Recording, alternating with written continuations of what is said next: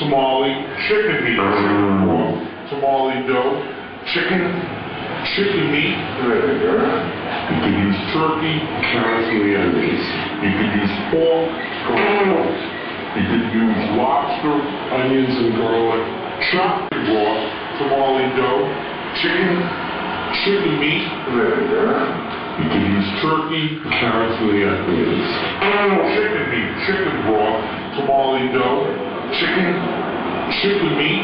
there. You could use turkey, carrots onions, you can use quarter of a cup of some of our cooked chicken meat.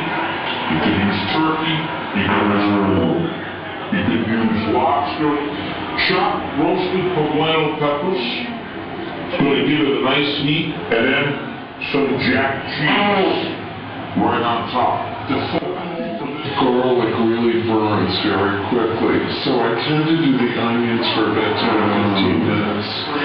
And then the beautiful in the batch minute.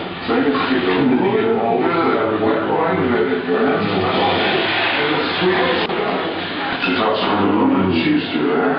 And then you take that chicken, ease up, you just bring them up to there, and there you have it, a complete Venetian feast. Served with two kinds of wine. We're going to serve a dessert wine made from Soave and a regular Soave at the same time. chopped roasted poblano peppers, Cognac, jack cheese, tamale, chicken meat, chicken broth, tamale dough, chicken, chicken meat. You can use turkey, carrots and onions, you can use pork, garlic, you can use lobster, onions and garlic, chopped roasted poblano peppers, cognac, jack cheese, chicken broth, tamale dough, chicken, chicken meat. You can use turkey, carrots and the onions. you- Until the vegetables are just tender and the onions are nicely browned. This is so great. The next thing I'm going to do for the beef bourguignon is put in chopped garlic.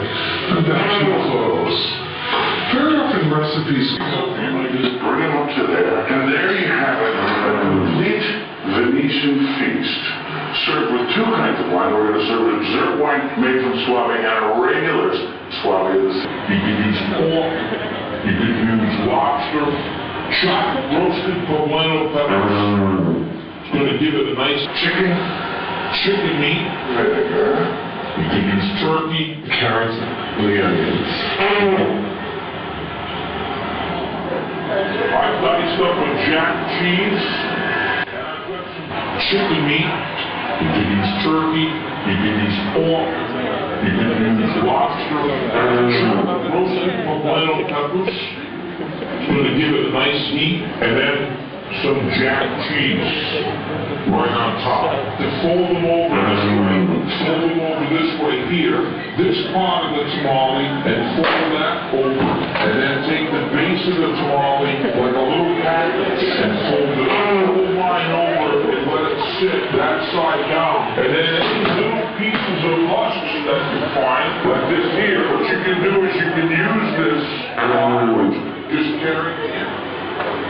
Until the vegetables are just tender and the onions are nicely browned.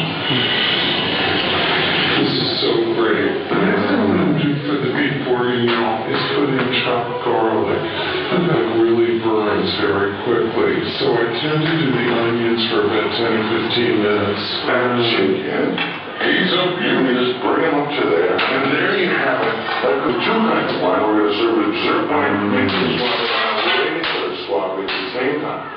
Until the vegetables are just tender and the onions are nicely browned.